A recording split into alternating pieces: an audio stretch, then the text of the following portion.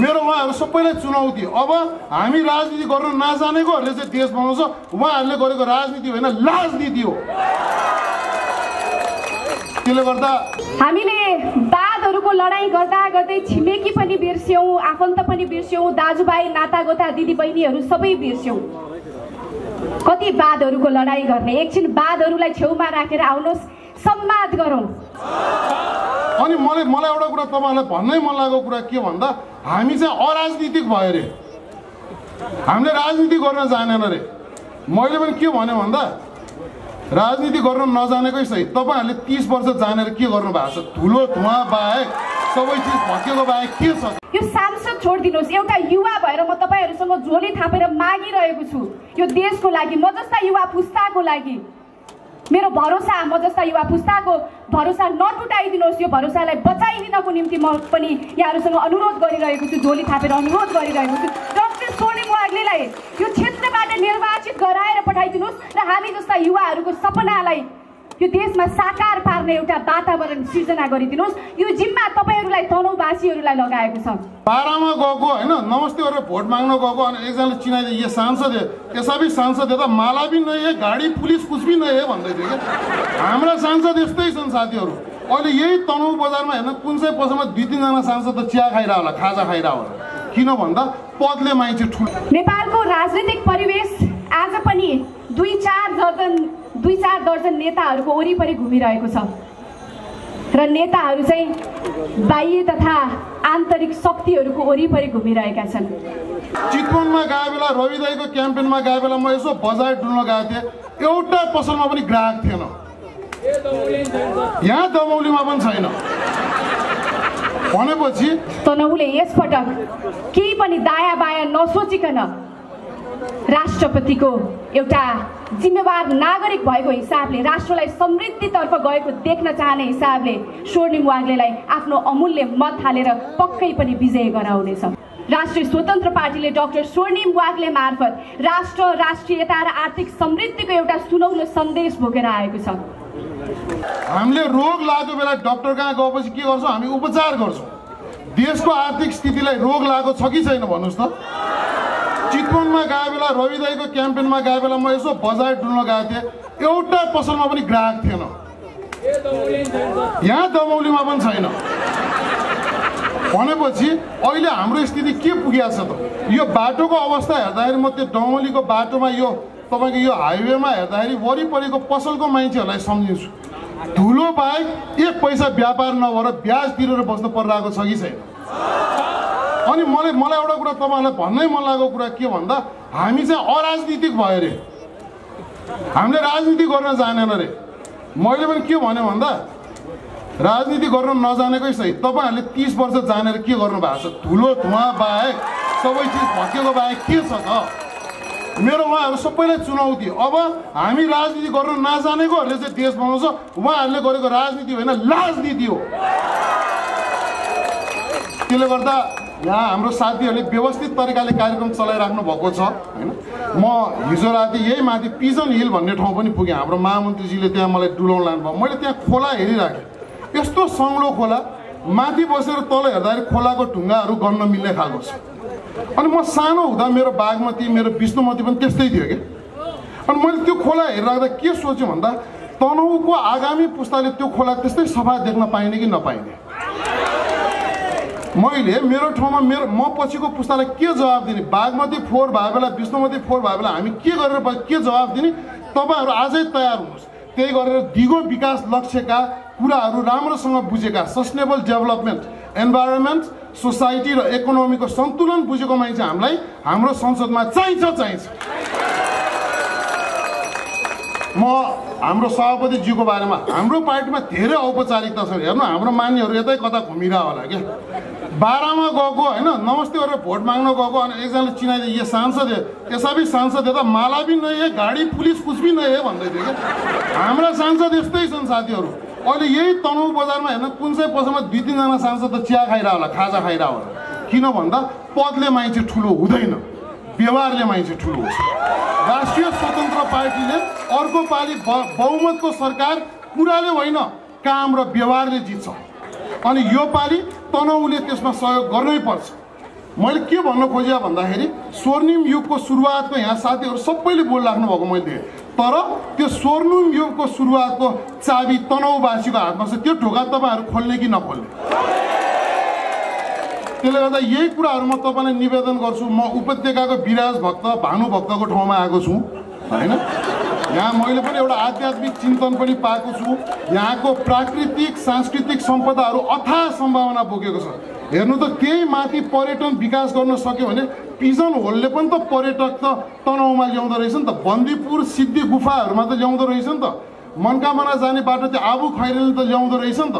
मैले रणनीतिक हिसाबले तनहु मलाई असाध्यै राम्रो किन पनि लाग्यो भन्दा सिद्ध भगवान्ले धागो कोरेको जस्तो धर्सो कोरेको जस्तो बाटोको दायाँ र बायाँ तनहु रहेछ क्या।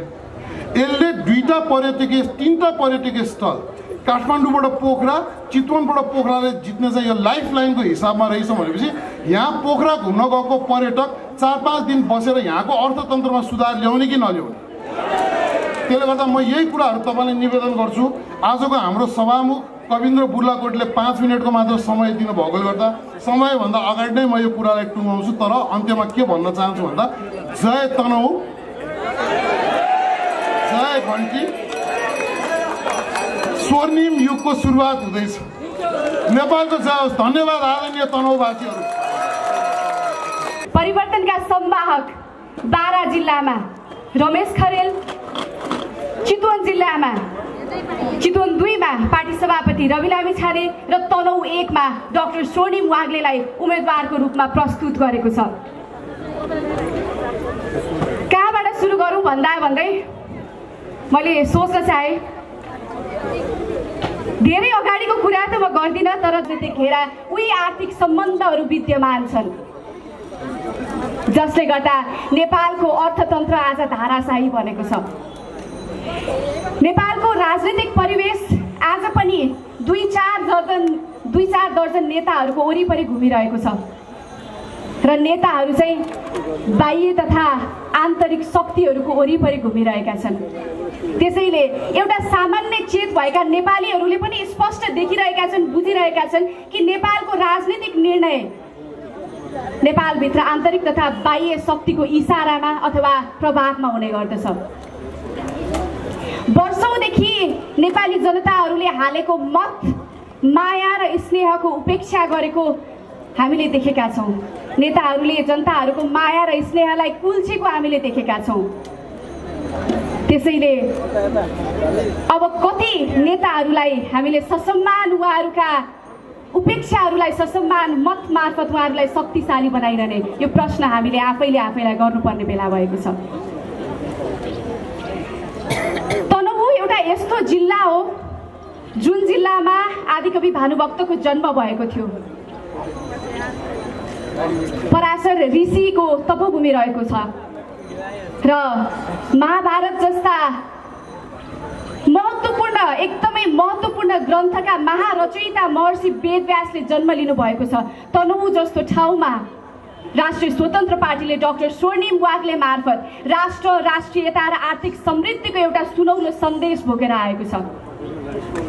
तनहु जिल्लामा राष्ट्रिय स्वतन्त्र पार्टीले डाक्टर स्वर्णिम वाग्लेलाई अगाडि सारेर आर्थिक समृद्धिको मार्ग कोर्न चाहन्छ र यो मार्ग कोर्ने काममा आज राष्ट्रिय स्वतन्त्र पार्टीले तपाईँहरूसँग अनुरोध गरिरहेको छ विनम्र अनुरोध गरिरहेको छ। राष्ट्रिय स्वतन्त्र पार्टीलाई यसपटक तपाईँहरूले घन्टी चुनाव चिन्हमा मतदान गरेर हाम्रो यो अभियानमा साथ दिनुहोस् भनिरहेको छ। समादरणीय महानुभावहरू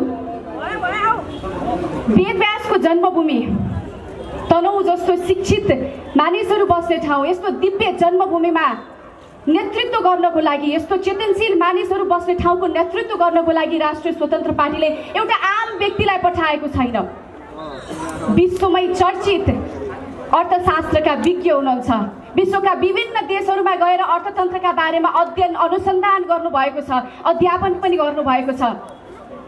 उहाँले नेपालको अर्थतन्त्रको बारेमा लगायत विश्वका विभिन्न देशको अर्थतन्त्रको सुधारका निम्ति योगदान पनि दिनुभएको छ मार्गदर्शन पनि दिनुभएको छ। त्यस्तो व्यक्तिलाई तनहुमा राष्ट्रिय स्वतन्त्र पार्टीले उम्मेदवारको रूपमा अगाडि सारेको छ।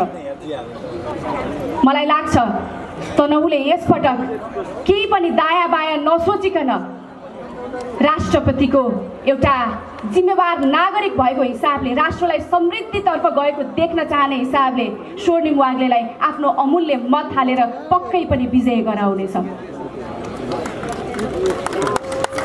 समादरणीय महानुभावहरू हामीले बादहरूको लडाइँ गर्दा गर्दै छिमेकी पनि बिर्स्यौँ आफन्त पनि बिर्स्यौँ दाजुभाइ नातागोता दिदीबहिनीहरू सबै बिर्स्यौँ। कति बादहरूको लडाइँ गर्ने? एकछिन बादहरूलाई छेउमा राखेर आउनुहोस्। सम्वाद गरौँ। अब बादहरूको लडाइँ छोडिदिउँ। राष्ट्रिय स्वतन्त्र पार्टीले अगाडि सार्नुभएका उम्मेदवारले नेपालको यो अर्थतन्त्रलाई सुधार्ने बाचा गर्नुभएको छ। त्यो एउटा दृष्टि भिजन राख्नु भएको छ। उहाँलाई साकार पार्नको निम्ति उहाँको उद्देश्यलाई उहाँको भिजनलाई मूर्त रूप दिनको निम्ति तपाईँ हामी सबैजनाले मद्दत गर्नुपर्नेछ। समादरणीय महानुभावहरू अरू त म के भनौँ? यहाँहरू सबै विज्ञ विद्वता हुनुहुन्छ। यो ठाउँ यस्तो तपोभूमि यस्तो दिव्य भूमिमा तपाईँहरूले जन्म लिनुभएको छ। यो ठाउँबाट राष्ट्रिय स्वतन्त्र पार्टीबाट उम्मेदवार हुनुभएका डाक्टर स्वर्णिम वागले जुन उम्मेदवारको रूपमा यहाँहरूले पाउनुभएको छ त्यो राष्ट्रिय स्वतन्त्र पार्टीको मात्रै उम्मेदवार हुनुहुन्न। समग्र देशको समग्र युवाहरूको आशाको केन्द्र पनि हुनुहुन्छ। हामी जो नेपालमा बसेर केही गर्छौँ भनेर युवा पुस्ताहरू बसिरहेका छौँ हाम्रो भरोसाको केन्द्र पनि हुनुहुन्छ। त्यसैले आज एउटा यो सांसद छोडिदिनुहोस् एउटा युवा भएर म तपाईँहरूसँग झोली थापेर मागिरहेको छु। यो देशको लागि म जस्ता युवा पुस्ताको लागि। मेरो भरोसा म जस्ता युवा पुस्ताको भरोसा नटुटाइदिनुहोस् यो भरोसालाई बचाइदिनको निम्ति म पनि यहाँहरूसँग अनुरोध गरिरहेको छु झोली थापेर अनुरोध गरिरहेको छु। डाक्टर स्वर्णिम वाग्लेलाई यो क्षेत्रबाट निर्वाचित गराएर पठाइदिनुहोस् र हामी जस्ता युवाहरूको सपनालाई यो देशमा साकार पार्ने एउटा वातावरण सिर्जना गरिदिनुहोस्। यो जिम्मा तपाईँहरूलाई तनहुवासीहरूलाई लगाएको छ। हेर्नुहोस् हाम्रो जीवनमा सबै कर्महरू माथि लेखिएर आएको हुन्छ जे हुन्छ राम्रैको लागि हुन्छ भनेर भनिन्छ यहाँहरूको मतमा शक्ति छ यहाँहरूको मतमा जादु छ। एकपटक यहाँहरूले अस्ति भर्खर मत हालेर यहाँहरूले हालेको मतबाट निर्वाचित भएर एकजना प्रतिनिधि यहाँबाट राष्ट्रपति तपाईँहरूले पाइसक्नु भएको छ। अब फेरि तपाईँहरूको मतले निर्वाचित भएर यहाँबाट डाक्टर स्वर्णिम वागले जानुहुनेछ र यो देशले एउटा अब्बल अर्थमन्त्री पाउनेछ। यो सपनाको लागि पनि यो हाम्रो आशाको लागि पनि आज तनहुवासीहरूसँग म तपाईँहरूसँग विनम्र अनुरोध गर्दैछु।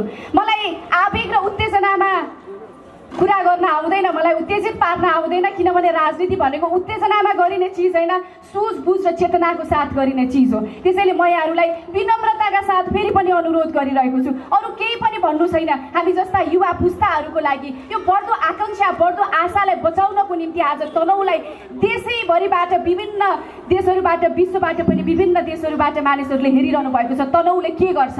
तनहुको हातमा जिम्मा लगाएका छौँ तनहुले के गर्छ भनिरहनु भएको छ? म- विश्वस्त छु। म आशा गर्न चाहन्छु तपाईँहरूले यसपटक पक्कै पनि घन्टी चुनाव चिन्हमा मतदान गरेर स्वर्णिम वाग्लेलाई जिताएर हामी जस्ता समग्र तमाम नेपालीहरूको मुहार यहाँहरूले हँसाउनु हुनेछ। नभएदेखि यो बढ्दो आशा यो बढ्दो बढ्दो उर्लदो आकाङ्क्षाहरू चाहिँ बढ्दो निराशामा परिवर्तन हुनेछ। त्यसैले वैशाख दस गते घन्टी चुनाव चिन्हमा मतदान गर्नु छ। समय बित्नु अगाडि नै निर्णय गर्नुपर्नेछ घन्टी चुनाव चिन्हमा मतदान गर्नुपर्नेछ तपाईँहरूलाई हार्दिक शुभकामना दिन चाहन्छु। जय देश जय घन्टी। नमस्कार।